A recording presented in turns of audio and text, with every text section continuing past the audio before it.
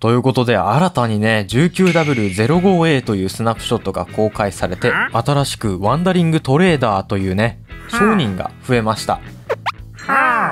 この商人はね村人と同様このような感じに取引ができるものなんですけれども公式情報によるとトレーダーはねラマを連れてこのような感じにさまざまなバイオームにスポーンをしますで新しく追加されたワンダリングトレーダーのスキンのデザインがこのような感じになっていますね。はいフードのついた青い服に、えー、側面にポケット。そして腰の部分にもポケット。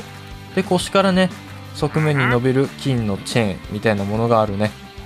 ちょっと複雑なおしゃれなスキンになっています。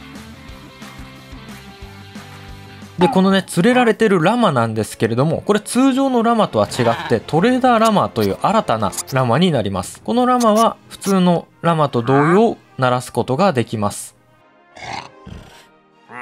で、E キーを押すとね、このような画面が現れて、で、カーペットをね、通常のラマと同様に置くことによってデザインの変更も可能ですね。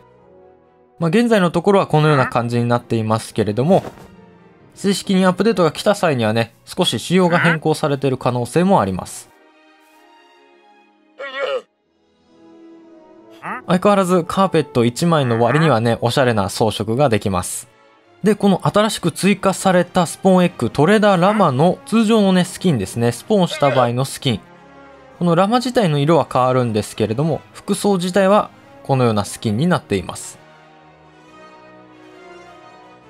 追加された卵のデザインはトレーダーラマーがこの左のやつですね。で、真ん中がワンダリングトレーダー。そして今までイリジャビーストと言われていたものはラベジャーという名前に変更されました。変更というか決定されましたね。これがこの灰色の卵です。